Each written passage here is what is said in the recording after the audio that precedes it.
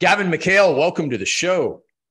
Man, I'm excited to be here. I you have no idea being on Craig Ballantyne's podcast. Wow. What, well, listen, not only are on Craig Ballantyne's podcast, but you're one of our top coaches in our program in our effortless discipline boot camp, and you're helping people getting amazing results. Now, before we jump into your discipline tips, because I know I want to talk to you about discipline, but also mindset because you were a pro athlete.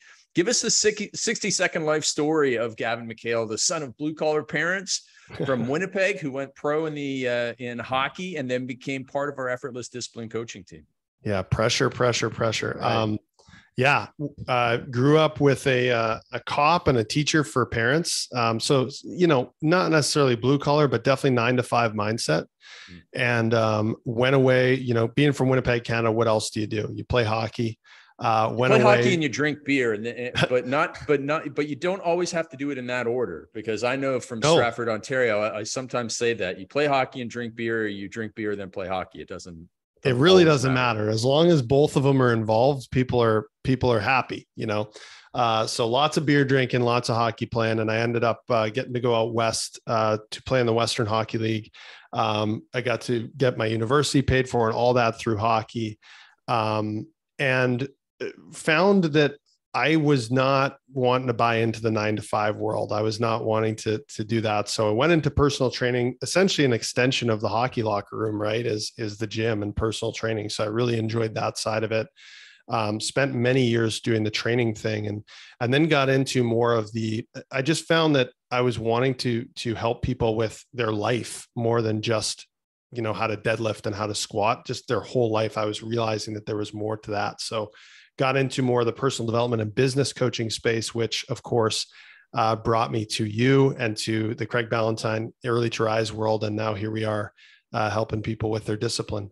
So let's go back to a couple of things. And we are grateful that you are here. That is for sure, because people are getting amazing results and you're just a, a fantastic coach. So you go back to when you realized you didn't want to do the nine to five. What kind of response did you get from your parents? Because um, I know I got an interesting response from my parents. What kind of response did you get from your parents? And also, what was the catalyst that made you realize that you didn't want to do that and that there was something more? So the catalyst was really um, I I actually I wasn't a very conscious I wasn't living very consciously at this time so it's hard for me to say what the catalyst really was but I wanted to do things that I was good at. So when I left the hockey world, it was like, okay, well, what am I good at? I'm, i mean, I'm good at school and science, and I'm good at talking to people and, you know, just messing around in the locker room. So of mm-hmm. course that turns into the gym. Um, so, and then I just followed the breadcrumbs there, right? Like it was like, okay, well, I could work for someone and make garbage money, or I could go and work for myself and give myself the opportunity to make better money and make my own rules. Right. So, so it just kind of like it happened organically through the next indicated step. Then we get to a place where, so there's two moments that really, I think, personify the way my parents reacted. So, number one was um, I was doing pretty well in the fitness industry. I was you know, right around the six figure mark. And I was, you know, working my own hours and I was able to travel and all those types of things. Had a bit of an online business. I was kind of 50 50 in person online. And, and my dad, who's a police officer, sends me the job description for the, the fitness person for the police in in our city and it's it's like 100k a year plus benefits and all that whoa that's way more than i thought it was going to yeah, tell me it was no like kidding. 30k or something yeah no kidding. So that's you know what most jobs are but this this is like a um, you know it's it's full time and it you're running all the testing and everything for all the police in our city. Um, you know it was a good gig. And i asked a few people and they said gav like you're a few people that knew me they're like you're going to go crazy in this role because you just you're doing the same thing every single day. And so i had to sit down with my dad and say you know i'm already almost making this kind of money. And I'm happy and I'm doing something that I love. And, and I, I think there was a bit of, there was a bit of disconnect until we could have that conversation. Mm-hmm. And then one other moment was I was taking five weeks. My wife, girlfriend at the time, had done some work in Australia. Uh, she took like three months to do some work there, and, and I was taking five weeks off to travel with her in Australia, New Zealand. And my parents, I was getting this bad energy off them just before I was leaving, and I said, what's going on? And my dad said, well, I can't, I can't leave for five weeks and just go travel to, to the other side of the world. What makes you think you can do that? And I'm like, well, dad, it's because I planned this type of a lifestyle. This is exactly what I wanted to do. And I think there was a recognition there like, oh, like he's not just flying by the seat of his pants, messing around, following a girl to some other side of the world. He's got a plan here and there's an intention behind this. So, um, took some difficult conversations though. Yeah. I like how you said that you are you weren't living consciously, which means you are now. So what is the definition of that and how do you help people in our program and, and in your own coaching to live consciously so that become more successful? Yeah, I think this is this is one of the things I said in our when we were chatting for the video for the effortless discipline program is Carl Jung, the just old school guy. He says, um, until you make the unconscious conscious, it will rule your life, and you will call it fate. And I I was just living in a way where I was just kind of doing what I thought I was supposed to and following the norms of society. You know, lots of like watching the news and and feel you know feeling the way that i think i'm supposed to feel and all those types of things right there was really no conscious intention behind anything and i think so many people it's so easy to get sucked into that right like it's so easy to get sucked into as we talked about you know drinking beers on a friday saturday night because you're supposed to and sleeping in and and checking social media and watching the news and and ref, basically for, conforming to what everyone else does but when you realize that not that many people are actually happy, you're like, wait a second, this isn't actually working. So one of the things that I think is so important for people is to is to like I said, make the unconscious conscious. What are the things that you don't necessarily like and why are those things happening in your life? And notice that you can make those changes. It was actually our mutual friend Xander Fryer who said to me like never complain to me about where you live because you can move at any time. And I was like, because I live in this place where everyone complains about it. I mean, it's super cold. It's in the middle of nowhere. You know, everyone complains about it. But my wife and I have had many conversations now because I have complained in the past about why we live here and why it's important for us to stay close to family and how we can have the freedom to go other places and all those awesome things. So I think it's just about about looking at the places that aren't working for you, right? And saying, I can I have the power to change these. How will I do that? Instead of like, well, I can't change anything.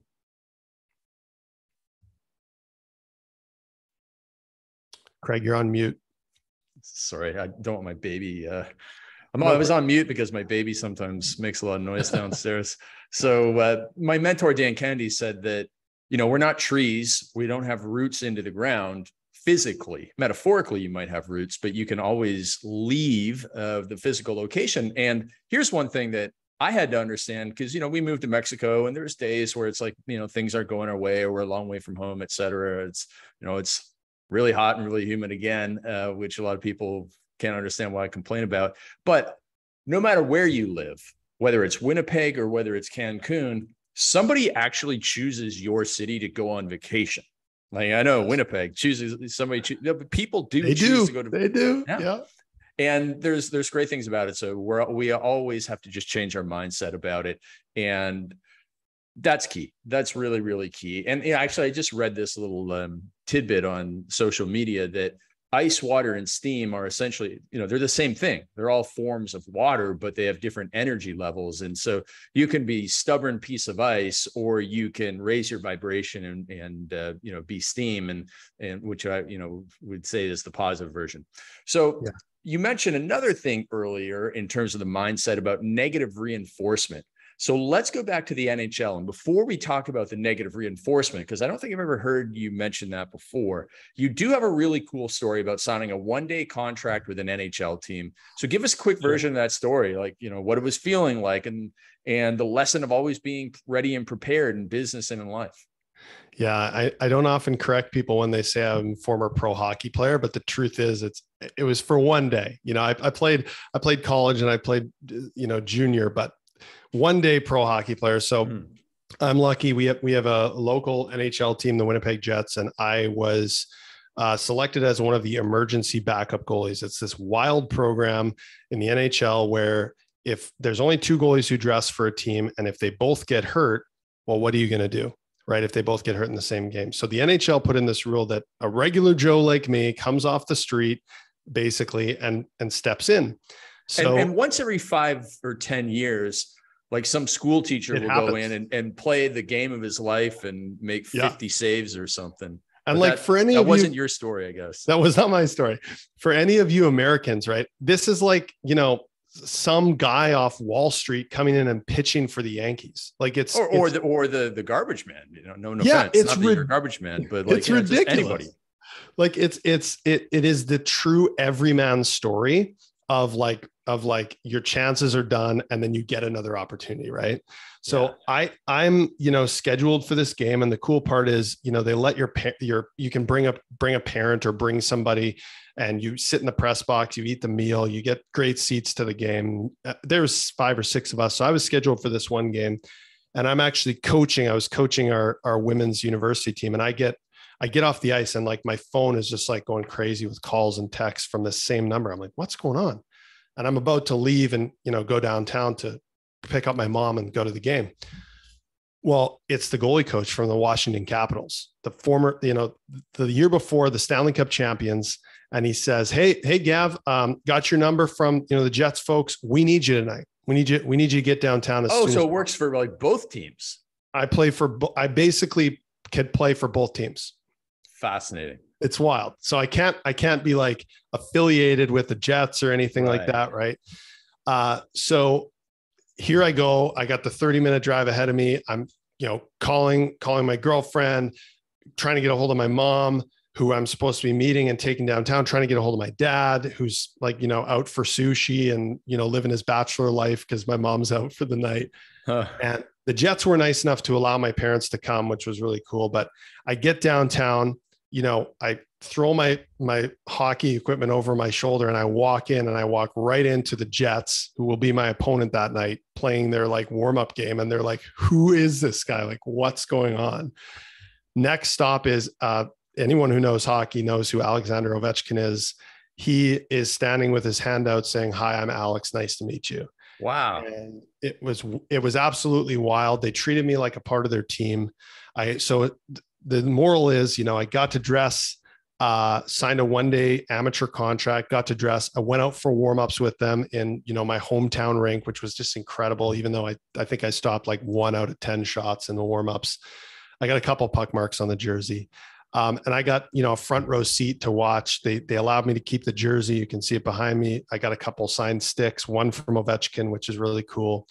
And I just got this experience of just basically I was a pro for a day or half a day, which was just super, super cool. Did you get to pick your number? No, they just they just they just threw like whatever number. It's number 41. What's the name on the back? McHale. Okay. Me. So so they did have yeah. time to stitch you up. It's actually, if you look at it, the stitching is like a mess. Like it's yeah. hilarious. The, the guy was just obviously like, we got to get this name on the thing. Yeah. They, and they even made a name bar for me for the, for my stall and everything. It was just so cool what they did for me.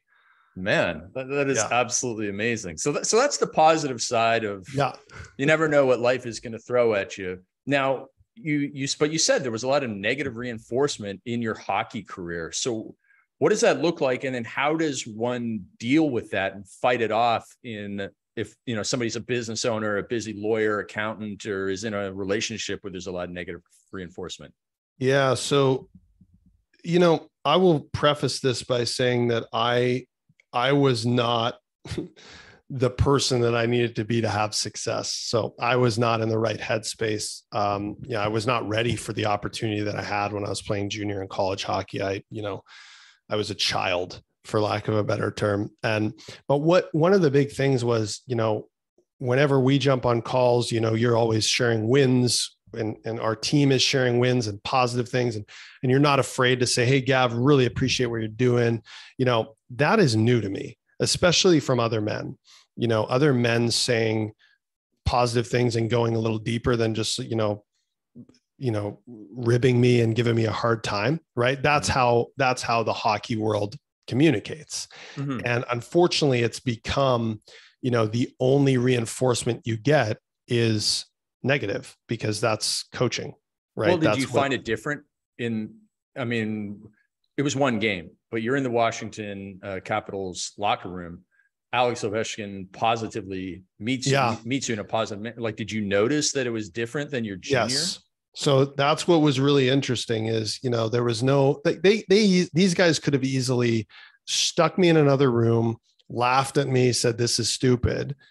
This is a joke and they they welcomed me in and that was one of the first times in my hockey career that, you know, I felt that way, Uh, you know. And so the hockey world and not to indict them, but just a lot of the world is you're always looking for the negatives, right? And and I mean, we do this in our own heads too, right? Is like, what what did I do wrong there? What could I fix, right? Instead of instead of bragging about ourselves, we're always told to be humble, right? Well, being humble is a good thing, but like, you know, you can pat yourself on the back too, right? Because for me, when someone reinforces me in a positive way, I'm I'm going to run through a brick wall for them. Like, let's do it, you know. But when you reinforce me in a negative way, like, I mean, obviously, sometimes changes need to be made. But if someone's just constantly ragging on me, I'm just going to stop listening. Yeah. It's just like it doesn't work for me. And I, I think so many coaches who, you know, maybe don't have the skill sets or maybe aren't able to um, get past their own demons generally tend to focus on the negative reinforcement or the negative like stop doing that instead of hey keep doing this you're doing great with this and and it's it's a it's a refreshing take i can say that What were some of the positive sides of coaching and accountability that you saw along the way? And then how important is that to what you do in our effortless discipline program right now? So the first thing was creating a relationship. I learned this in the fitness world actually, creating a relationship of unconditional positive regard. So this is something that Who did you learn that from? Or did you learn So- that on your own? I actually learned that in in school, Oh, which okay. might be the one thing that I took from university. Uh, Well, I mean, and some exercise Maybe physiology. yeah maybe some exercise physiology some some you know where the joints are and stuff but um yeah so unconditional positive regard of just like hey look like you know even if you totally screw up you know as long as you as long as you don't do anything illegal right i'm gonna i'm gonna regard you positively because i'm gonna see the best in you right? And and that's my job as your coach. And then my job as your coach is to is to be an objective observer. You mentioned this right? Outside eyes. Be an objective observer that's uh, that allows you to ask better questions of yourself right?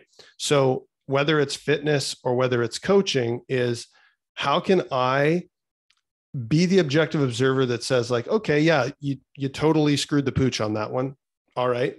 Um, what can we learn from that or where where maybe were there positives that came out of that? Or what feedback did that give you? How can you use that to be better next time right? That in my opinion is the job of coaching. It is being the objective er, observer being the outside eyes and having a conditional positive regard. Like and even when my coaches in the past like some of my business coaches who have been great coaches for me have you know been like you know gotten angry or not gotten angry but you know maybe not been totally positive i knew it was coming from a place of positive regard because of the the relationship that had been created throughout that container mm-hmm.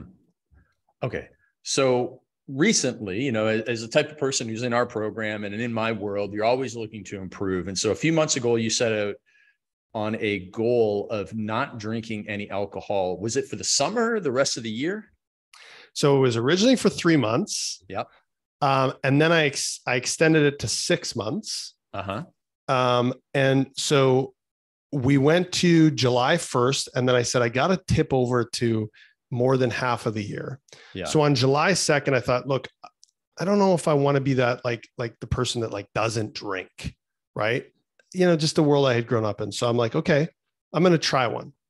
So I had a beer and it was awful. I was just like, this sucks. I've totally lost the taste. And I was like, I think I think this is done for me. So I I uh I decided that I was going to do it, and then I, once I had passed that that mark, I was like, "Ah, I'm going to see if, if this is something for me. And then it was just like, you know what? No, this isn't for me. It's it's not worth it's not worth it. Yeah. Yeah, that was the big thing. So you shared that in our weekly team meeting. We do lots of personal development in our weekly team meeting and lots of uh, you know training on our own programs like the effortless discipline boot camp program that gavin's part of. You shared that with us for public accountability. Yeah. How how do you you know how did that help you you know through some maybe some struggles early on when you know you're making that transition?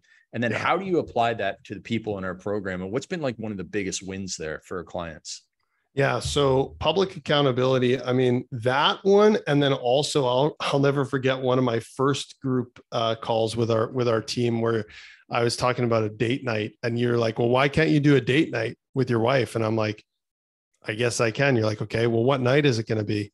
I'm like, "Thursdays." You're like, "Great, tell us how it was." We haven't missed a date night since. Great. Um, and that is, you know, you talk about this, someone you don't deeply don't want to disappoint. So there were moments for accountability. You want to find somebody you deeply do not want to disappoint. Yeah.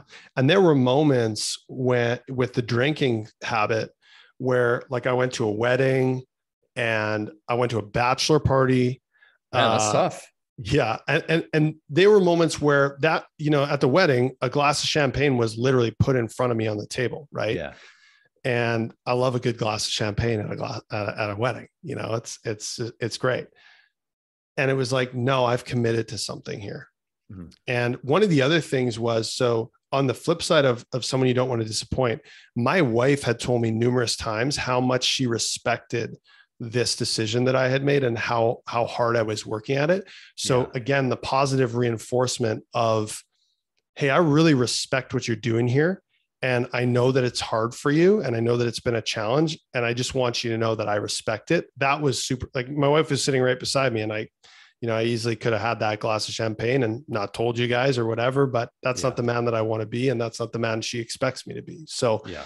That that was really positive. Now when it comes to our group, I mean, one of the things I'll always do is we'll go through say a 90 day you know 90 day planning session or 30 day planning session or uh, one of the really powerful things we did was around procrastination um, and beating procrastination. And so I had everyone go through a worksheet and then they got to the point where it's like, okay, well, what are you going to stop procrastinating on? And then I said, and I'd like you to share that in the chat of our Zoom call.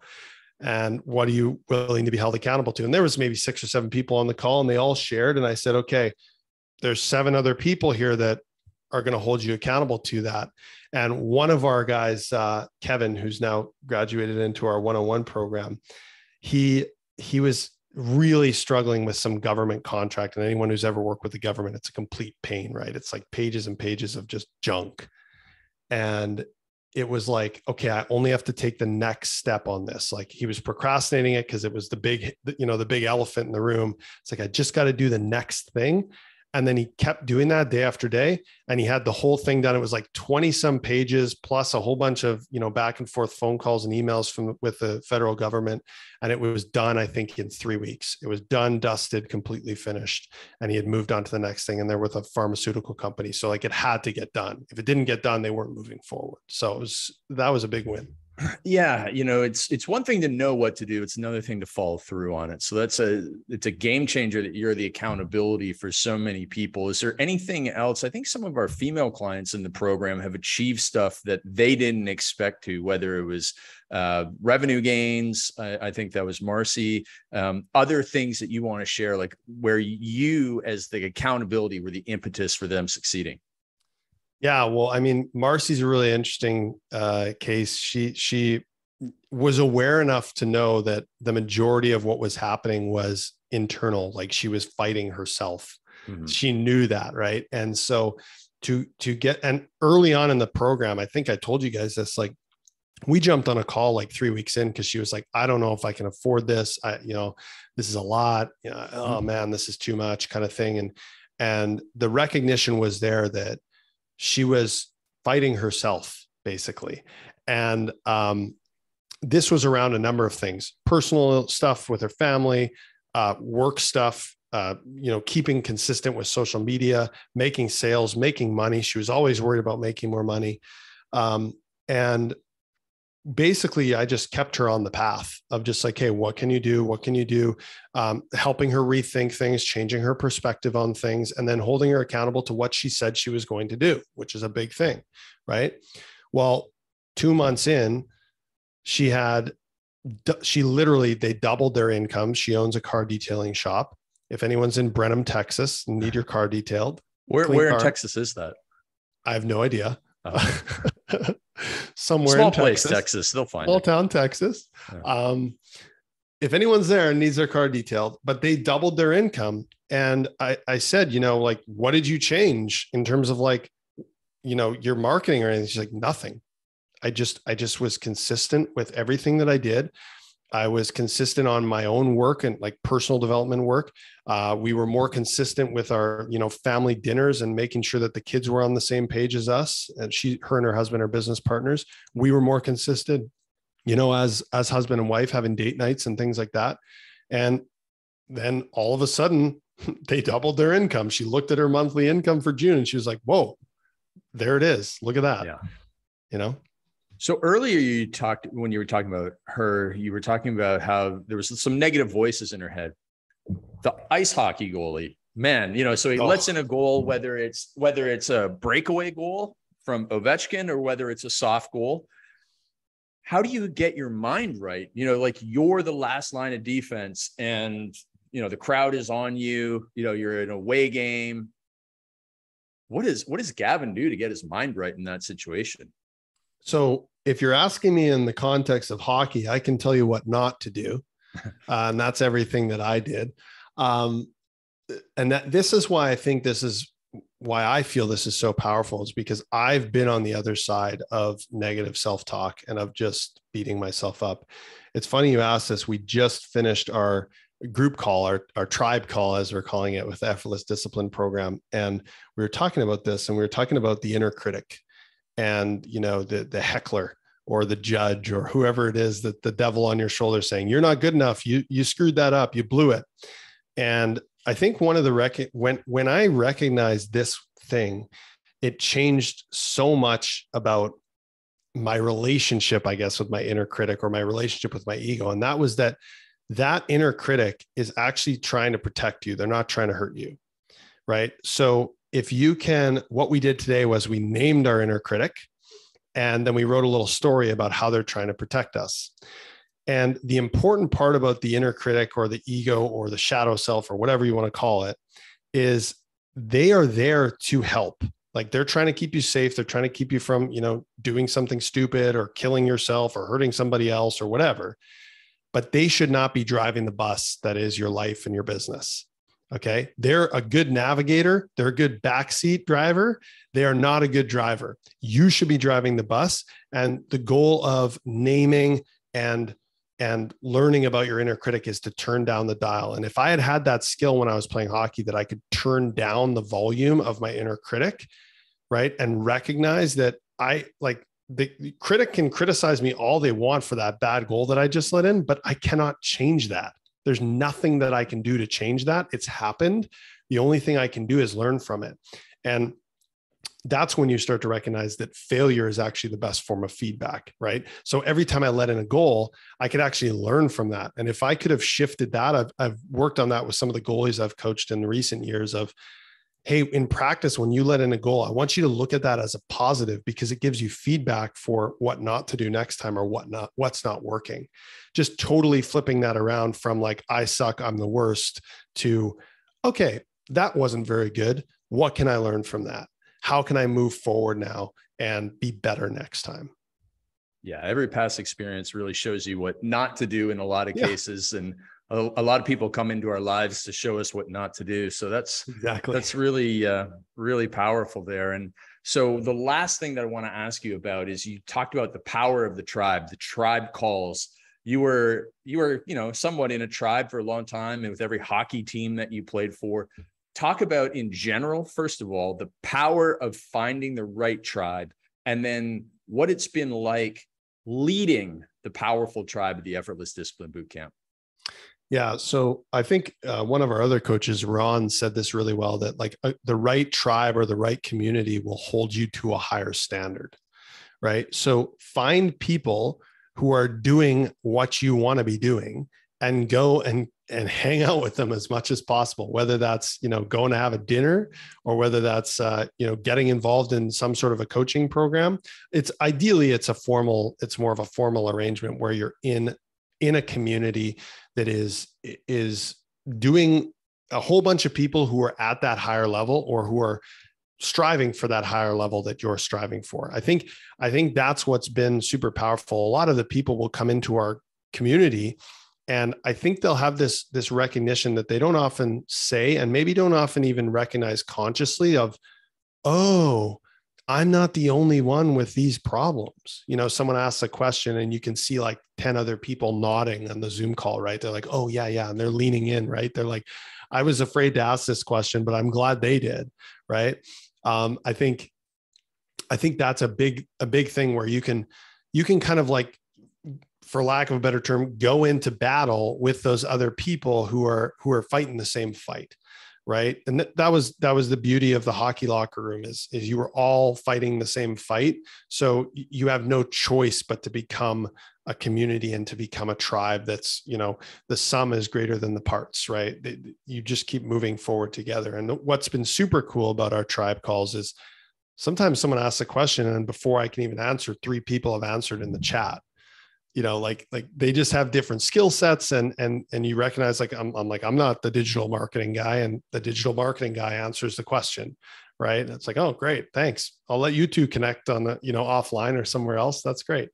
Um i don't know yeah. if, was was there more to that question or is that no no that that's really it. And i will say that you know, first of all, there's the classic Jim Rohn quote that you're the average of the five people you spend the most time with. And if you have, if you're part of a powerful tribe of like-minded people, you're going to become a powerful, like-minded person. If you hang around people that are fit, if you hang around great hockey players, you're going to become a fit, great hockey player. If you hang around people that are always negative, you're going to become a negative person. And so the power of a tribe can go both ways, which is why people need to be in the right one, like our effortless discipline boot camp tribe. But I'll also say this, that our team in our meetings, you know, for the early to rise, our company and our coaching meetings and our sales meetings and our marketing meetings, that, you know, you're part of a lot of those meetings. I think there's a powerful tribe element there where there's positive yes. reinforcement, there's public accountability, there's all those things that are in our team meetings that are also in our coaching program. And I'm very grateful that you're a part of that because you bring so much great energy for that and so much expertise, both as a high performer, but also as a coach. So I just wanted to thank you for that like there's the positive reinforcement. Guys there it is right there. Anyone listening? Yeah thank you. I appreciate that. And i i remember just a quick quick story to finish up. The the first one of the first like sale the sales marketing huddles that we've been doing you know and it was just like ideas were flying back and forth and and people were saying hey you know are you going to do that or who's going to do that or you know um, hey what about this or what about this? I don't know if that's going to work. And it was like it was just like this this whole nother level where you're just like man like this is what it's about. And like I, i'll do anything i can to get to those and spend more time on those because those just raise your whole vibration for the rest of the day the rest of the week. Like that's what it's about. So uh, thank you for that positive reinforcement and i appreciate the opportunity to be a part of that team well, it's amazing. And we're just getting started. We had a couple more people sign up for the Effortless Discipline Boot Camp. Uh, yes. Again, today, it's an eight week program. It helps people become super disciplined, insanely productive, and just helps them take their le- uh, life to the next level. You know, and not everyone is an entrepreneur in the program. We have lawyers, we have accountants. Um, what else do we have in there aside from entrepreneurs, lawyers, and accountants? Yeah, we got like um, the one real estate agents. Yeah, yeah, I'm real estate investors. We got the one guy who was a VP for a pharmaceutical company. We've got um, digital marketers. Uh, we've got a, a lot of uh, affiliate marketers. Like it's um, it's a it's really, high performers who just want to get to the next level, right? Yeah, and you you said it really well. Like it's those folks who they know that they've got like you know a race car under the hood, uh, but they're sitting on the infield spinning their tires in the mud and all we all we do is we say hey here's the systems we put you back on the track and we we tell you to press the gas pedal you know and you can you can fire it up Exactly. Exactly. I love that analogy. Well, listen, if anybody listening wants to learn more about our Effortless Discipline Bootcamp program, uh, we would love to chat with you. So just send me an email at craig at craigballantyne.com or an Instagram message at real Craig Ballantyne. And we look forward to helping you, you know, just go 200 miles an hour down the straightaway once we get your wheels uh, out of being stuck in the mud. So Gavin, thank you so much for being on here. I know that you've got a lot more stories and, and lessons and discipline and mindset hacks to share with us. So we'll have you uh, back on the call again soon and, and find out how your no alcohol That's campaign right. is going and hear about more success stories from the program. So thanks for joining us today.